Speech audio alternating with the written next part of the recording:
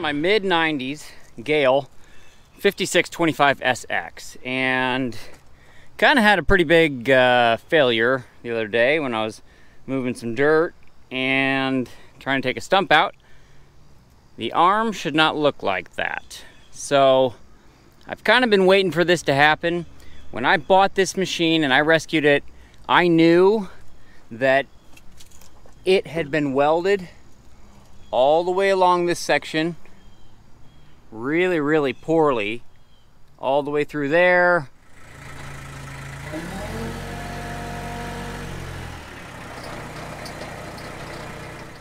Pretty massive crack on that side. And the same had been done all the way around there. And so it finally gave up the ghost and broke off. So today's project is to fix that. The biggest thing that I want in doing this is I want to make sure that when I put the bucket down, the entire front bucket edge touches the ground at the same time. And what that's gonna mean is I'm probably gonna have to take both of these hydraulic cylinders off because that'll get me access to around there. Take some of these hydraulic lines and then I'm gonna have to grind out all the weld all the weld.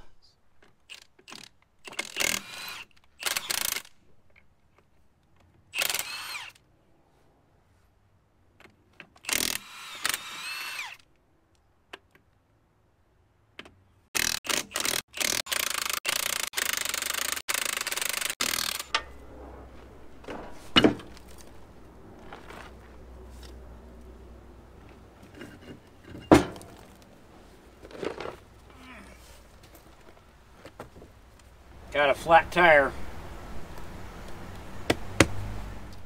All right, so on this Gehl skid steer, the key, ever since I got it, will accept pretty much any key. You put any key in there, just touch the plastic piece. So you could start this with a screwdriver a utility knife. But now, it won't even turn. I know I can jump the motor because I use this on the actual starter itself and it starts. So that brings me to the key switch being bad. So I got a replacement one. Not sure if it's gonna fit perfectly or not, but we're gonna give it a shot.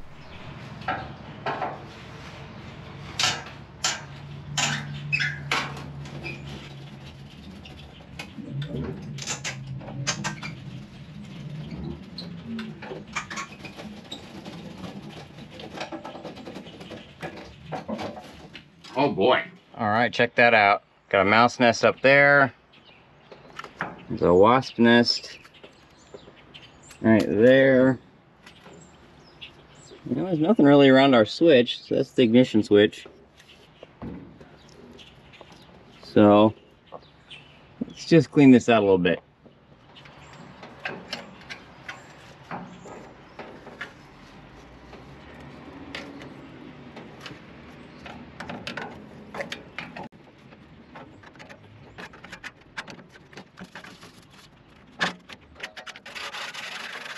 let's pull this key switch out. Took the nut off.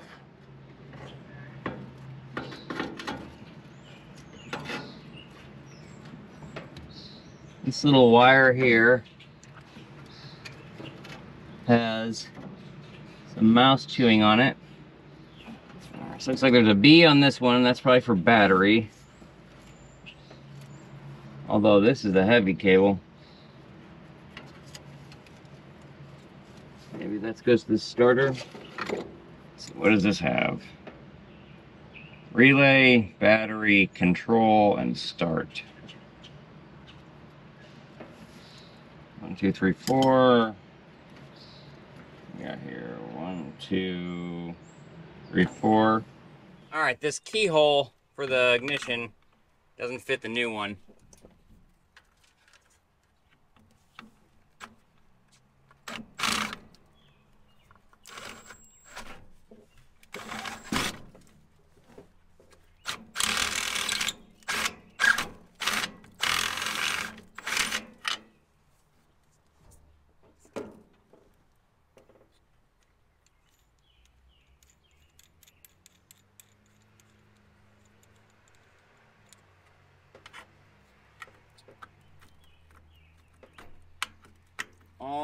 Most.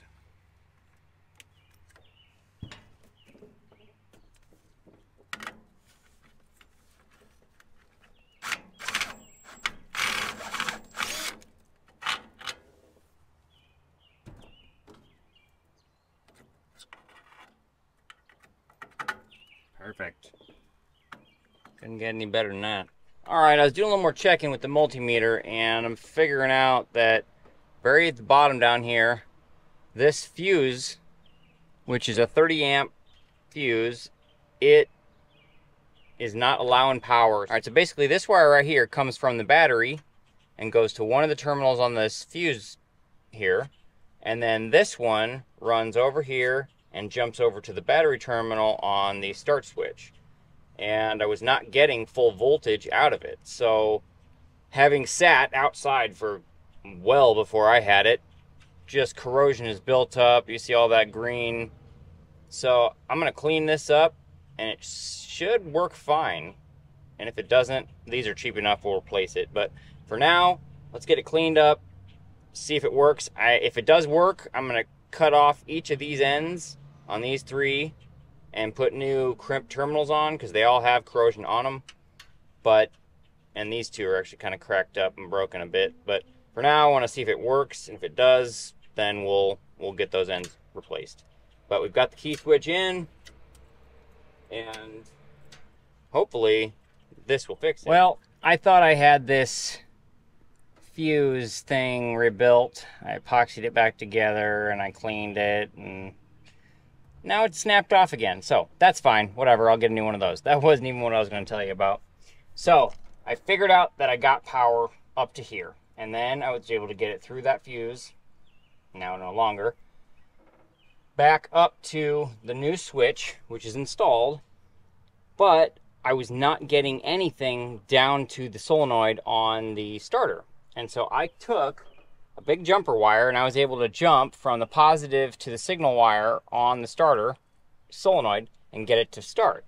So I know that there was a problem between right here where this green wire goes from here, goes down out of there into a connector and then that connector runs through a harness back to the starter. So I ran this wire, which is a signal wire, going directly from here, and it the other end of it goes to the solenoid on the starter. And now I'm able to start it with the new key, which is great. Obviously now I'm not totally able to because this mechanism just broke on me, but I'll fix that and then I'll show you that this does work. All right, I don't have another fuse basically holder and whatever, so I found this little double connector. It's actually a triple.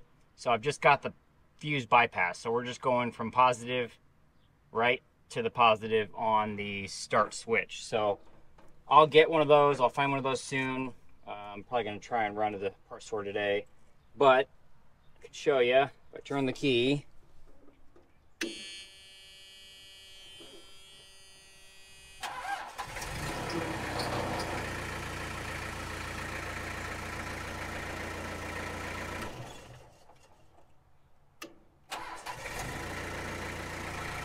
Beautiful. And while I was at it,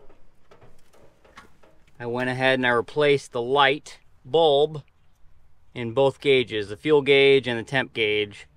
And so now those will be visible in the, in the dark.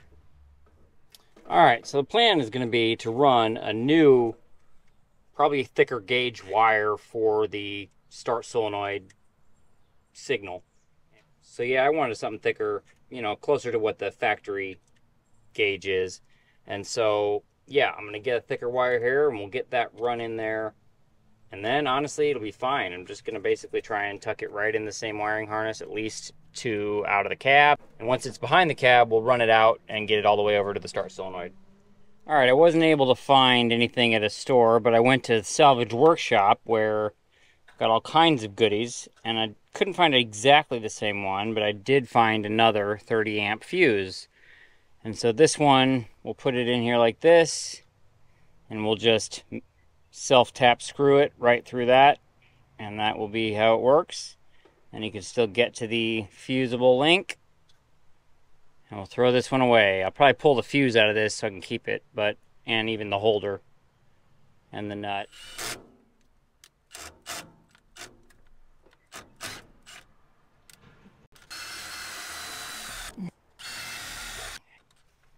There we go. Still get the fuse out. Think I'm going to fill that up with dielectric grease. And then now we can take this off. One side on there and one side on there. That should be good to go. All right, I've got the new wire going from the switch all the way through this existing harness out there and right under here, there are actually two connectors, and those would allow you to disconnect all the wiring from the engine and the cab separately. But the main power wire, at one point, it corroded off. It was this top one here. So they ran just a big wire in there. Looks like it does have a connector that it could be undone. But I currently, this green one here, I ran it just, just right straight through. I wanted less areas for corrosion. If I ever need to take it off, I'll just snip that wire in half and put a connector in it. But I ran it on the back side of this, just taped it to it, followed that harness all the way down. And then right here is our new wire. I went ahead and left the old one. Um, more than likely, there's something going on probably in the connector here. And I don't see any issues leaving it because at the end of the day, what's it going to hurt? I mean, if it stops working, I don't see it affecting this wire, the new one anyway. So, because it's directly from here all the way to the switch, and then the switch has a small wire that jumps to the solenoid. So let's put the cab back down and give it a shot. All right, let's give it a shot. Got it all buttoned back up. the whole wiring harness retaped. Panels installed. There we go. Beautiful.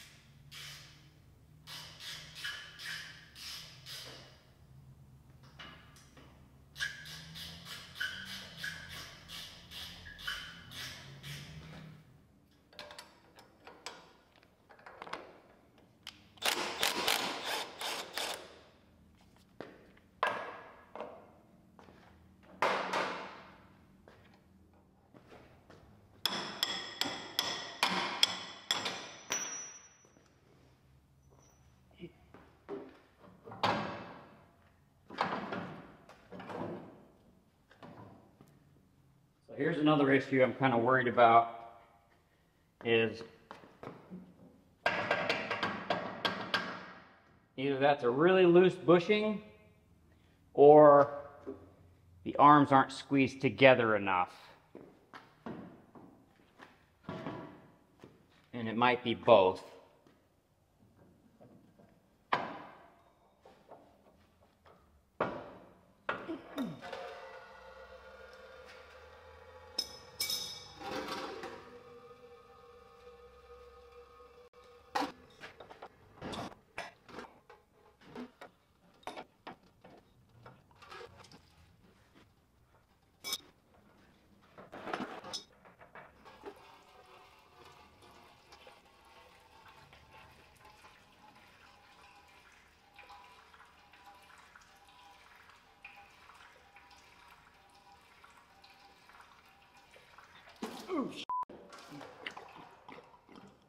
That was not a good idea.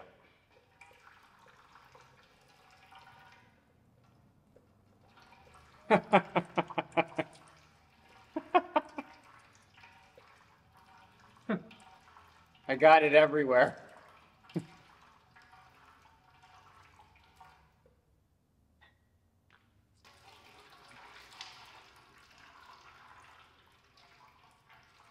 I'm just gonna let it drain. That would probably be smart.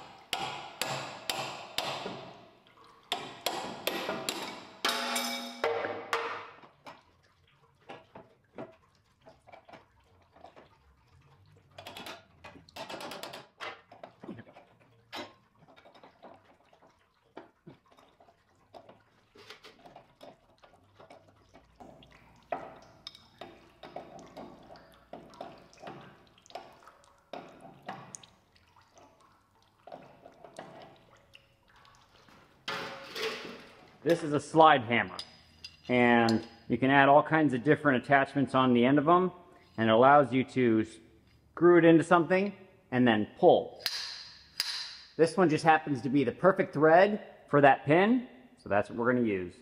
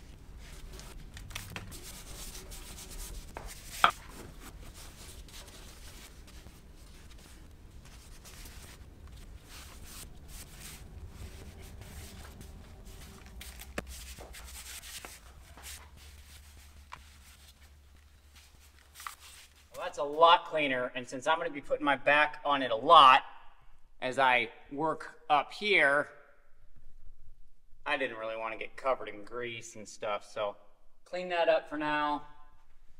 And we're gonna take a look at this real quick.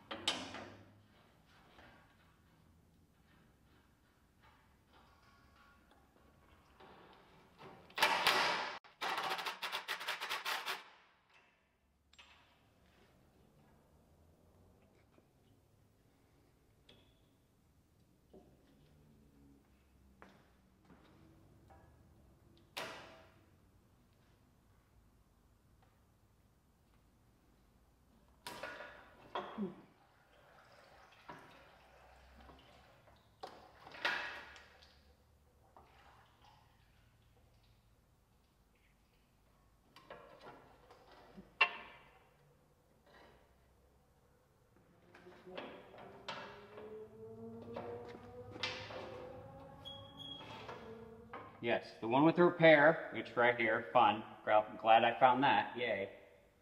That one's been repaired, that one's on the outside. Uh, let's just get them out for now.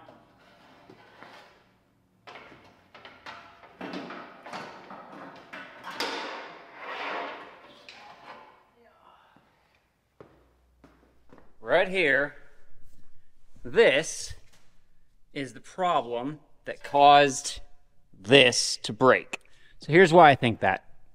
You can tell this gap has been filled with weld, but they never got it over far enough to actually fill in and be properly um, back to where it was from the factory because right there, I don't know if you can see it, but right in there, there's a piece of metal that should technically be tucked under this piece of metal. And so whenever they fixed it, they just got it as close as they could to there. They didn't worry about getting it all the way in. And they just added a whole bunch of weld all the way through here. And all the way on the bottom. And then they added the crappiest weld in the world all the way around here. So when I bought this machine, I saw that crack I saw that big crack. And over here, this one had started to crack. If we really actually look at this crack, the one that has broken, I almost believe maybe they added one little bead above the factory weld, but I think that this was pretty dang factory. So, what I think I'm going to do, we're going to grind all the weld out. I think this side will fit perfectly where it should go. I'll have to grind that chunk out. And then there's another little chunk in there. And then I might have to take this corner off. And then I think I'll take some of that out. But the goal here will be to get this side as factory as I can. Get it tack welded, maybe like a one inch weld, one inch weld, one inch weld. And then, and then we're going to completely cut this one off. We're going to basically cut and grind out that weld, grind all that out. And the plan will be to get this as tight to that side as can be. And hopefully we can grind out gently enough to be able to follow the factory edge like we can do with this one because I can literally see the factory cut piece, you know, right down and around here on the inside, which is great. So I'm going to basically start by getting the weld out of the way. Once I can do that, we'll shimmy this piece here where we need it, and then we'll we'll kind of get it lined up. But um, yeah, I knew this was coming, and here we are. So let's fix it right so it never has to be fixed again.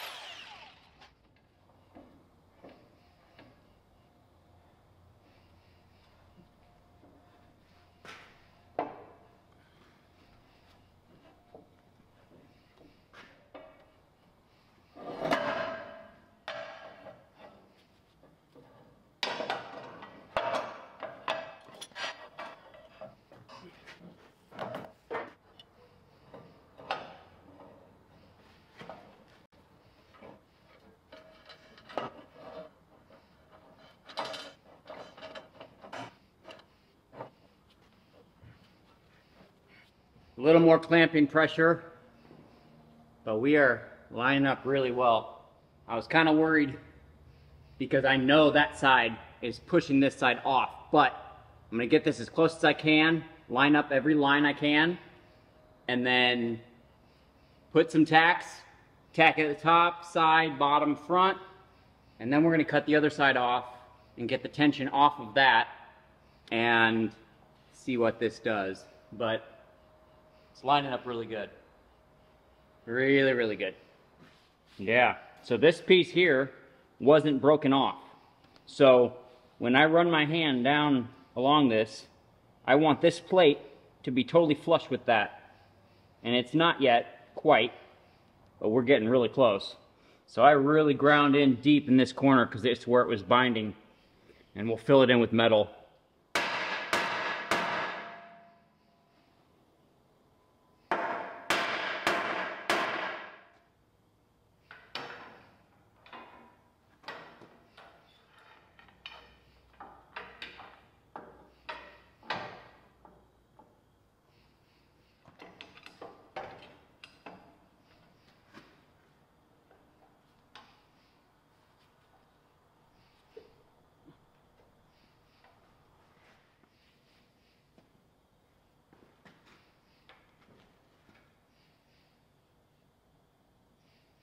see that? The magnet on this took it out of my ear. Thanks. So I'm gonna still grind off all the paint and I'm probably gonna cut out and, and really V this out, but not now. now, I'm gonna grind a nice place for a good tack weld, like right here. Got one on the front. Probably gonna do one up this area and I know I want to do that because I really want to get this squared up, straight, solid enough that I can start working on the other side and then come back to this side if need be. But we can always grind more out once the clamps are out of the way.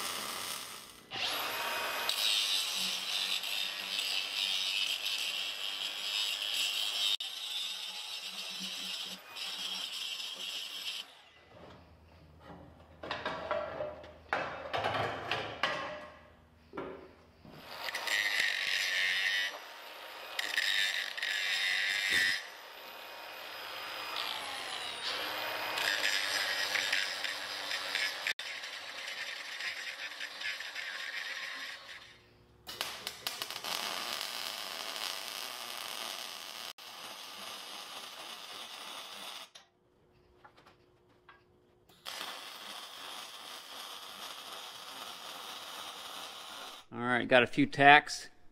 One there, a few on the front. The one on the bottom looks terrible. They all look terrible. I'm not a welder. I just weld. A couple small ones just to bridge that gap. That's where I cut out quite a bit of material to, because it was, a piece was underlapping, so it was basically pinching it and it wasn't wanting to come over. And then a couple tacks here.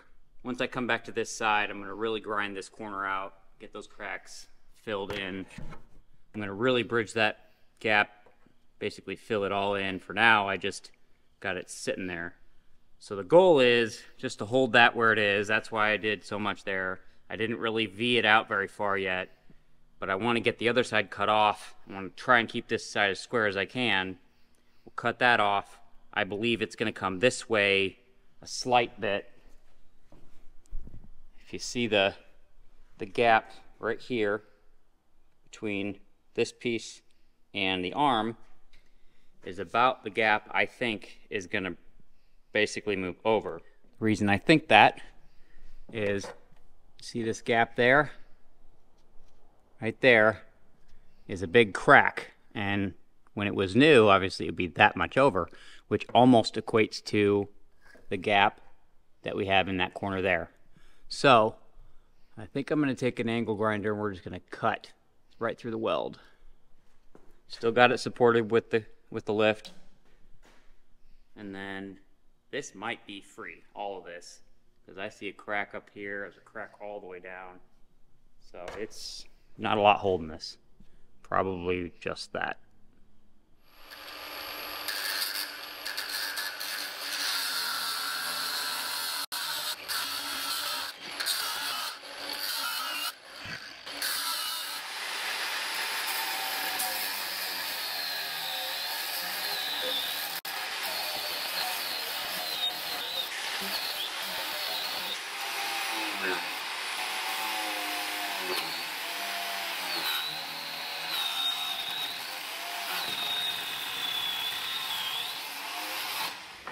Grinder is a freaking beast.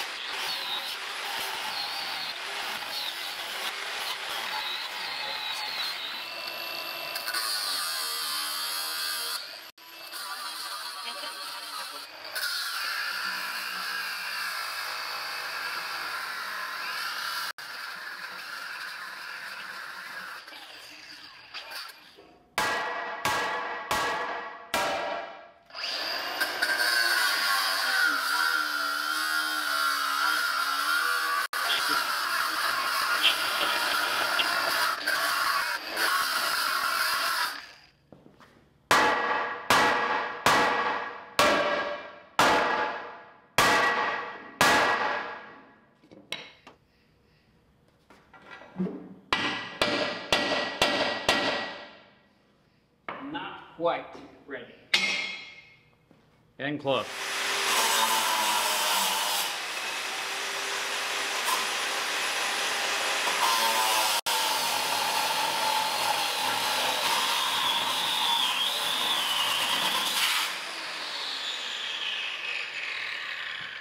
Yeah. Man, they just filled that in with stick weld. See more in there. I'm gonna to grind this whole area off.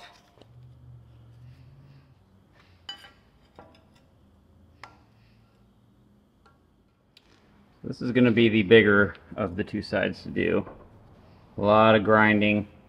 I clean up this whole edge, get it down to bare metal, get past all that stick weld, V it out really well, and then we're gonna burn that baby in hardcore hot. Probably run an initial pass and then maybe three passes over it. One on each side, and then burn one more down the middle. Yep, it's all just fill. It's all rusty, it's all porous. Absolutely no strength in that.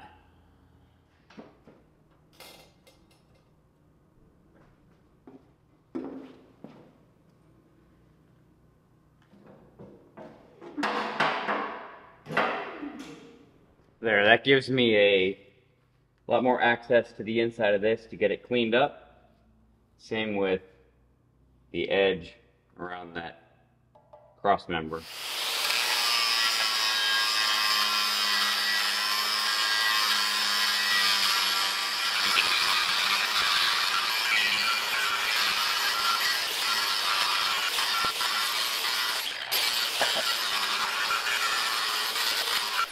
Got all the old weld ground out, both off of the main arm and that cross member. Got all the junk out of there. There was a huge crack right here. So I really just kind of just dug in real far. We'll fill that all in with weld.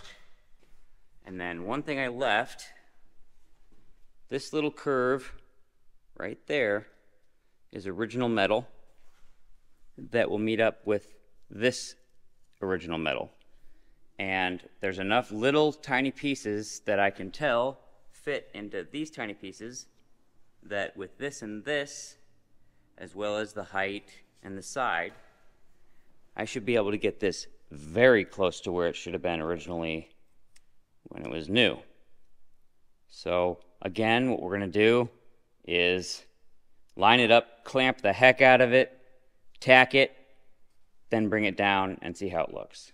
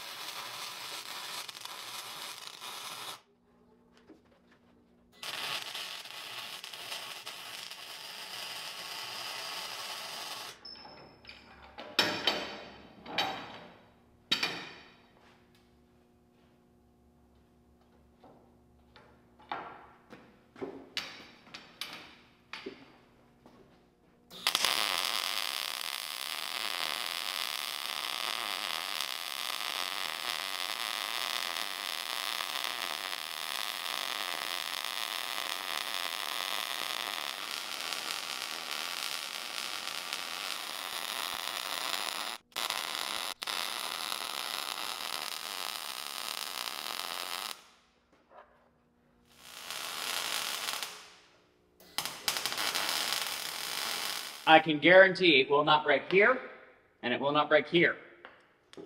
I cannot guarantee it won't break anywhere else. All right, so I'm going to really quickly wire brush, just wire, wire wheel these uh, welds. And one thing to note, if you ever go through a lot of these wire cups, they're expensive. They're the good ones are like 20, 25 bucks a piece. And so to make them last, you want an angle grinder that has a speed adjustment. And when you go slower speeds with these, you don't move as much material, but you don't heat up these bristles as fast, which the heat and the friction combined is what makes these things start breaking off and throwing and getting ruined. So go with a grinder that's slower, and these will last longer.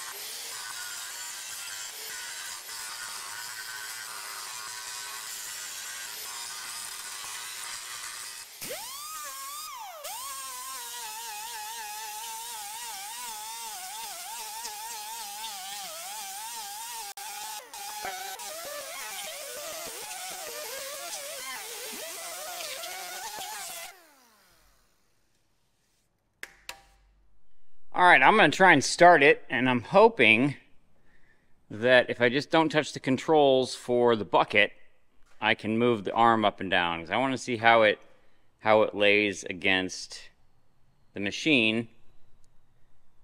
Guess we'll find out. Set you up right here, and you want to look, see if fluid comes out of right there.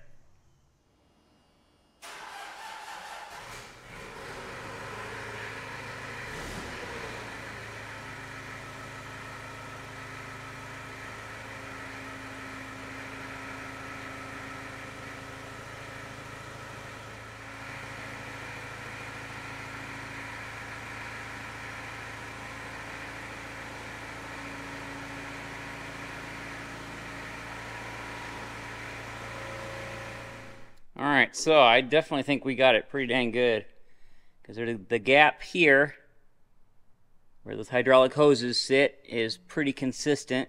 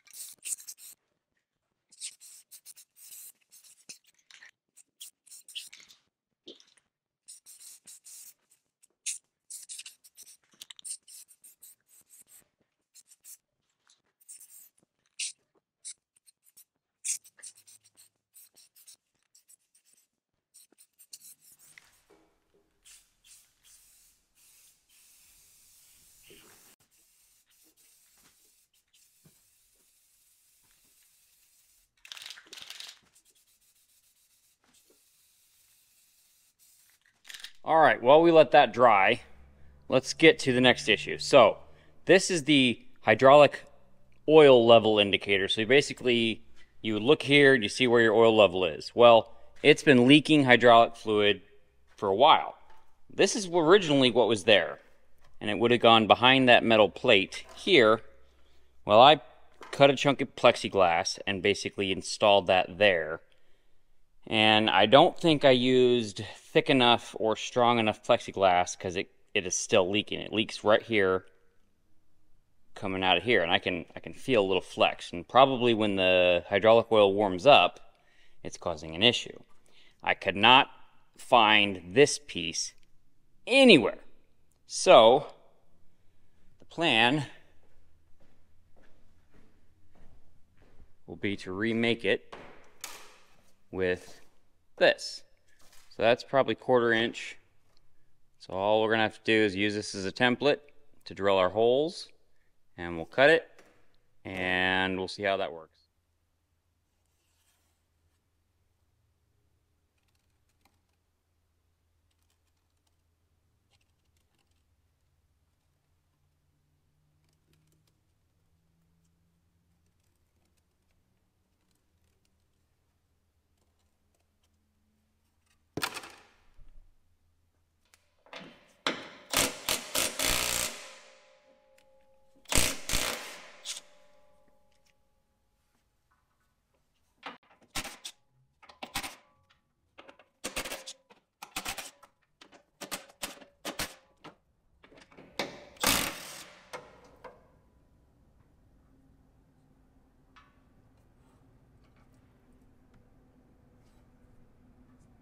Oh shoot, I thought hydraulic fluid is already all leaked out of it, but we're leaking some, so let's get something to clean that.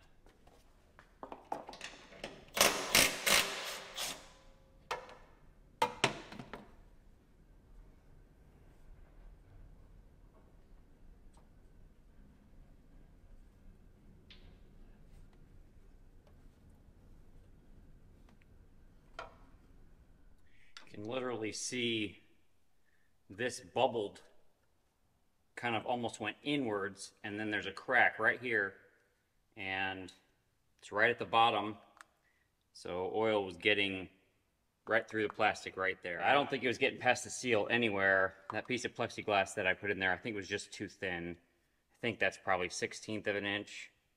So we're gonna really step it up. But I gotta get this off the plate.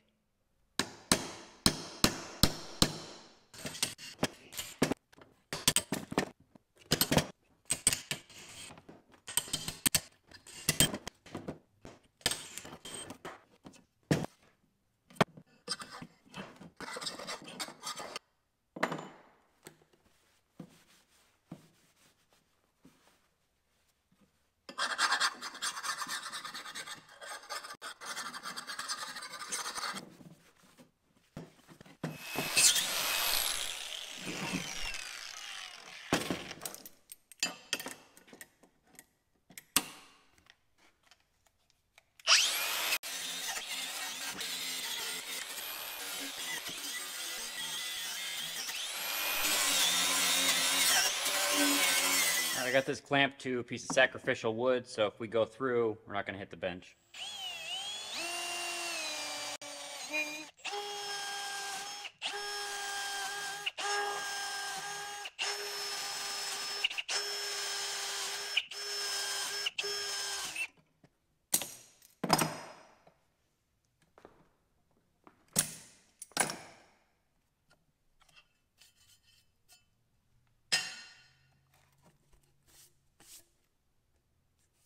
There we go.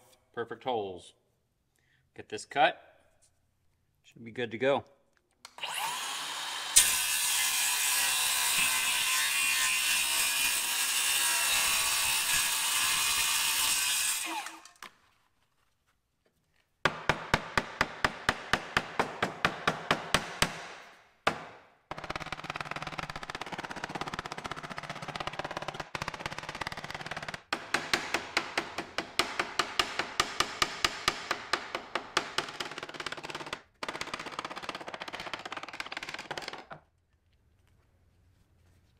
There's one gasket. We'll make one more.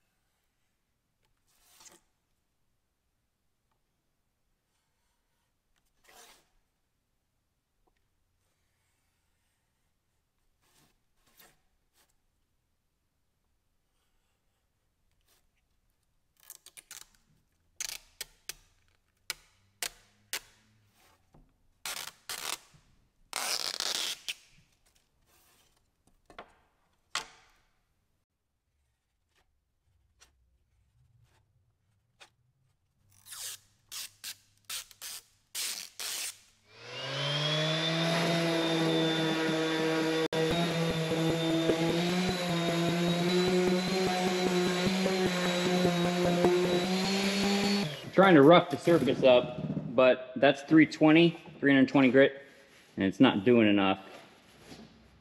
Not scratching it enough. I probably should do it by hand with some rougher paper.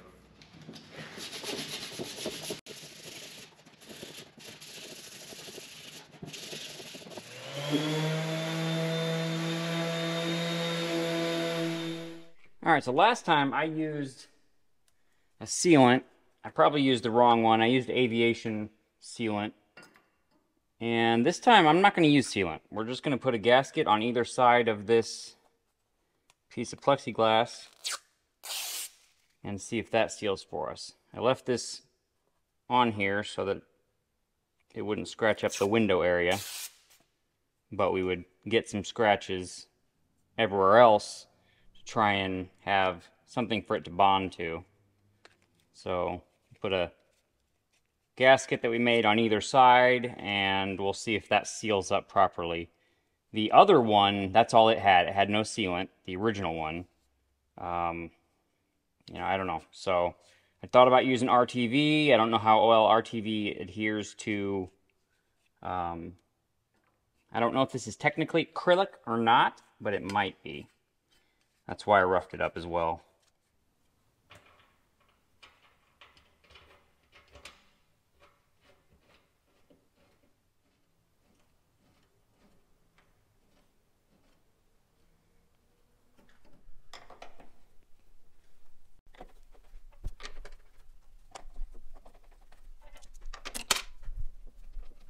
peel off the tape.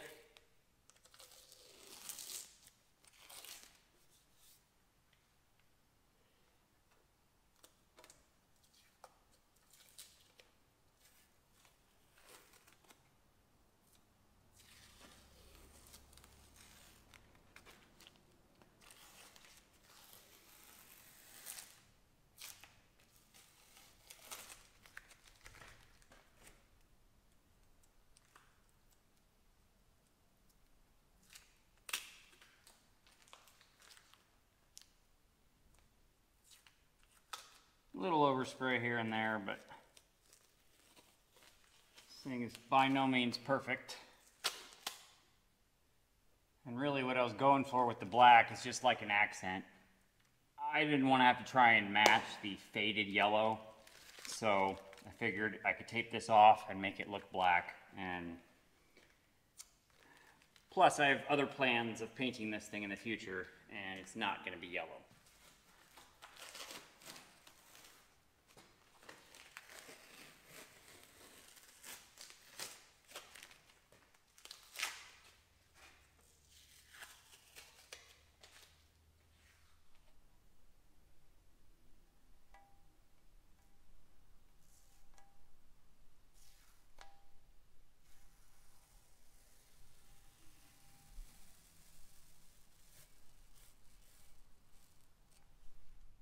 Always got to watch out for death. It'll get you every time.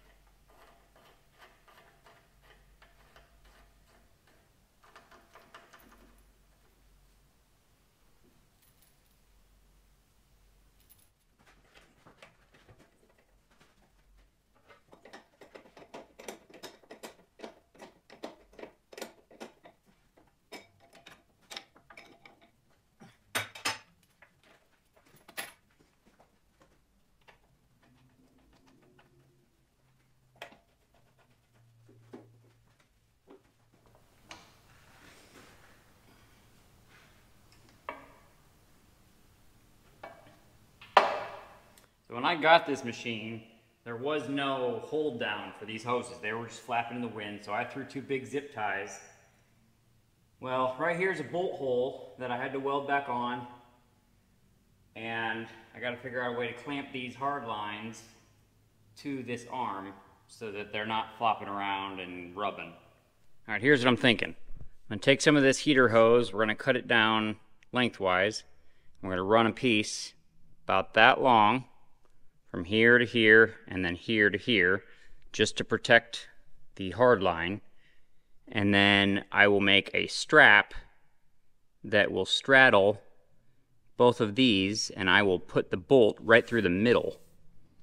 And then that strap will pull everything tight against the arm and then all that padding with the heater hose on this will keep it from flexing. I'm probably gonna add like here, I've got this small chunk, add a small chunk here, small chunk here, right in that area to kind of protect it.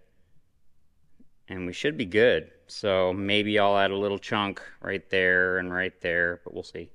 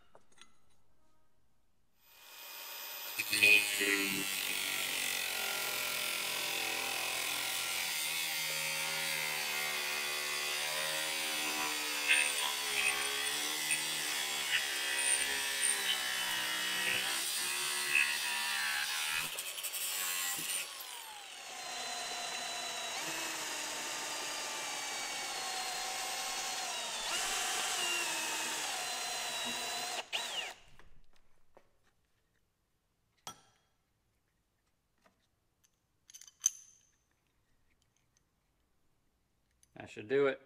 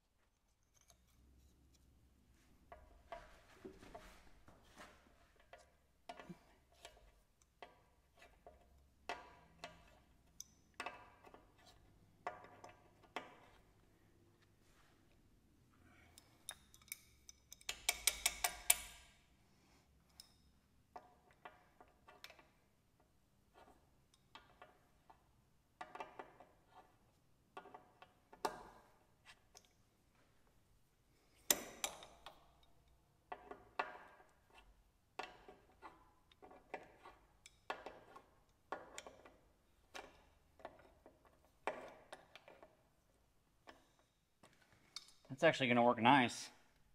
It's nice and solid now. Only thing I'm kind of worried about is these hoses a little bit. But, yeah, that's going to be pretty dang solid compared to what it was, which was not solid at all. We'll know when we bring the arms down how much room we're going to have here. Might be able to twist this swivel down some on both of these and get some more room. Now this cylinder does slightly lift up a little bit, so it might grab some of that as it's extending up, but we're gonna leave those alone for now. We're gonna get the rest of this tied down and tightened. I'm gonna bend this bracket just slightly. It's touching on the bottom, just not on the top, and I'd prefer if it was touching on both. So yeah, I think that's gonna be good.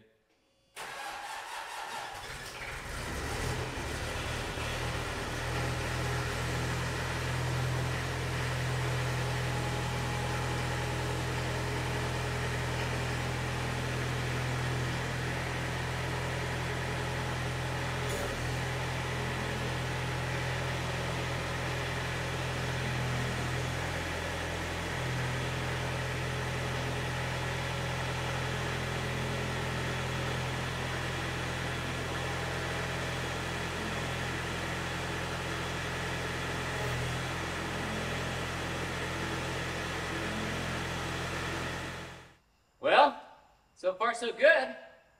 The arms move perfectly. The gap right here behind this arm where the hydraulic hoses are is exactly the same all the way across. The hoses are not touching anywhere they shouldn't be or anywhere we didn't protect them. Um, I was just going through the motions trying to get these cylinders all bled, get all the air out of the lines.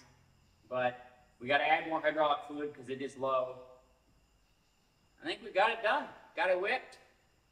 So let's get some fluid in there, put the bucket on, see what it does.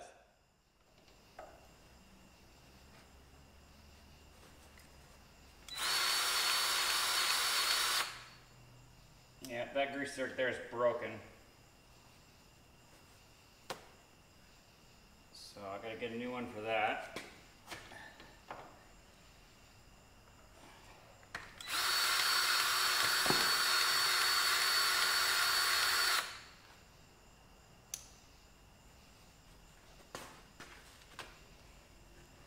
And I gotta get an extension for this.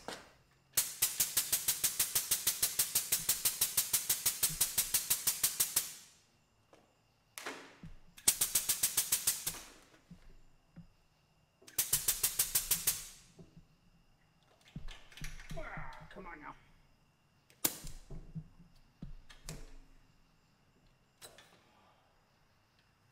So this one won't take grease over there. I don't know if you guys have seen this, but it's called a grease joint rejuvenator made by IPA. And what you do, you take this end, you fill it with a thin oil. This is PB Blaster. And then you take the other end, you insert it, and then you put this on the grease zerk that won't take grease.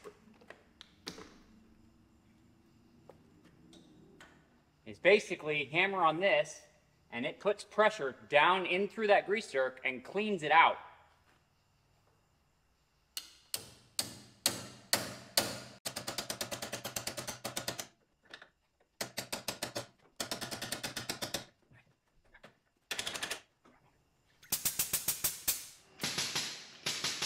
Bingo. There's the grease we want to see.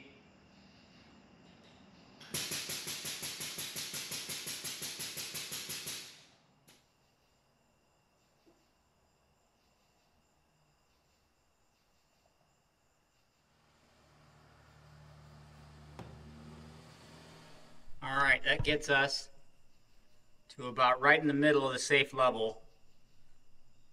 I'm going to add more later, but I want to cycle the system and then we'll top it off again later. But right now, we know we got enough to run it safely. And now there's enough in it to tell if uh, this will work. I'm pretty sure the thicker glass will work, but I'm kind of wondering, I'm hoping those two gaskets I made seal.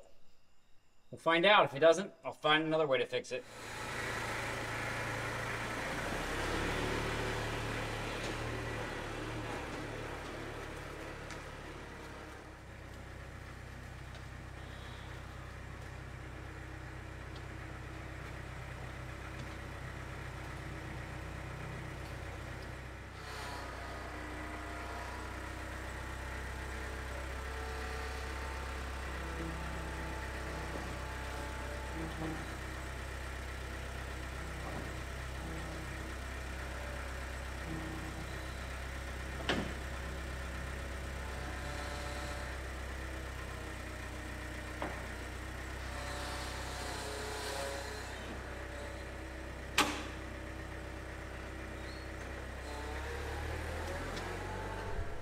All right, here's one of the big things I wanted to see is how even that bucket is when it touches. And it's looking really good. This bucket right in the middle, it's slightly bowed down, but I really think we got it got it right on.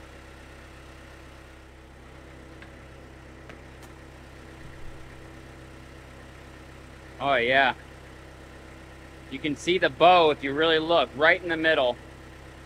But there's about a half inch above the ground on that side, a half inch above the ground on that side, and the whole middle's touching. So What I really need to do is get my other bucket and see how that sits on the ground. But we're looking really good. I'm, I'm more than happy. It's gonna function properly and do exactly what I need it to do. All right, well, there you have it. We got the bucket back on. You can see the gap along the floor is almost identical. One problem I did realize and recognize now is the pins and bushings right in this bar right there. There's a gap. And so I really need to replace both pins and bushings at some point. I'm going to get those soon. These two pins for these cylinders had a little bit of uh, uh, wear in them. These two seem to be fine. But all in all, for an old beat up machine, I think it's looking great now. The arms are lined up. The, I mean, there's, it's not perfect, but I wasn't aiming for perfect. I was aiming for functional and getting it as good as I can. And so we got all four new hydraulic lines there. The hydraulic lines are captured and not bouncing all over the place. We've got no leak so far on the hydraulic reservoir there. So we'll keep an eye on that. Lots more to do on this little old beast, but it sure has been a useful machine so far. And I'm just going to do things as I get around to them. I'm going to keep using the machine.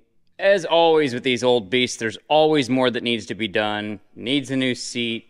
Need to get, um, there's a little leak in these auxiliary hydraulic fittings. There's, the fuel gauge doesn't work. This cylinder leaks. I believe these two might leak a little bit. They need to be rebuilt. So that means if I'm doing those three, I might as well do this one, even though it's not leaking. Um, I need to do a full service on it. I have changed the oil, but I need to do the oil, all the filters, fuel filter, hydraulic filter. And then at some point, I want to do stuff like adding some nice lights. The seat is all cattywampus in there because the floor is all rotted out from all the years of uh, sitting outside. So I might do something with the inside, make it look a little nicer. Um, I don't know. All in all, it's a good machine. It's a good tractor to have around. I'm more than happy to to put some TLC in and, and keep this thing operational. But I'm glad to have that bucket fixed and that arm, because that was one of the things when I bought it, I knew it was going to happen. And I was just waiting for it to break. And finally it broke. So now it's solid as it's ever going to be.